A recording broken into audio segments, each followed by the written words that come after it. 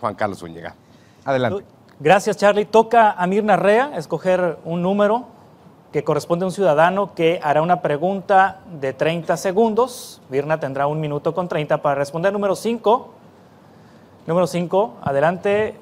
Me dice su nombre y de dónde viene, por favor. Buenas tardes, mi nombre es Guillermo Sabiñón, soy presidente del Consejo Estudiantil de Sociedades de Alumnos de la Universidad de Sonora. Eh, Hermosillo es la ciudad que cuenta con la mayor oferta educativa de nivel superior en el estado. Por lo tanto, miles de estudiantes eh, migran a esta ciudad para continuar sus estudios de nivel superior. Eh, ¿Qué apoyos ofrecería el ayuntamiento en su gestión a este grupo de estudiantes y cómo eh, aseguraría la oferta laboral para ellos y para quienes son originarios de esta ciudad? Bueno, mira, los apoyos, hay becas, pero son becas muy pequeñas en el ayuntamiento. No tienen becas así para las universidades, pero le daríamos todas las facilidades en el momento de terminar. Yo soy una empresaria, soy una emprendedora y yo voy a buscar que todos aquellos jóvenes emprendedores, poderlos apoyar, poderlos capacitar y orientar hacia lo que quieran desarrollar.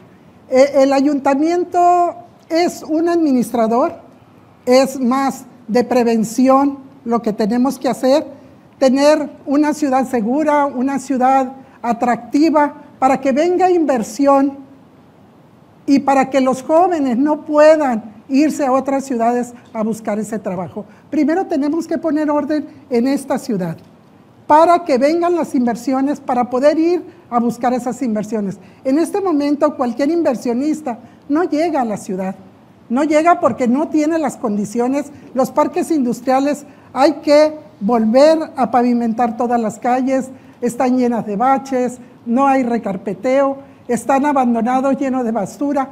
Tenemos que primero poner orden en casa. Muy bien, Guillermo, 30 segundos. ¿Y cómo se atacarían las necesidades básicas de este grupo que le comenté, como son transporte, como son eh, vivienda, incluso la economía?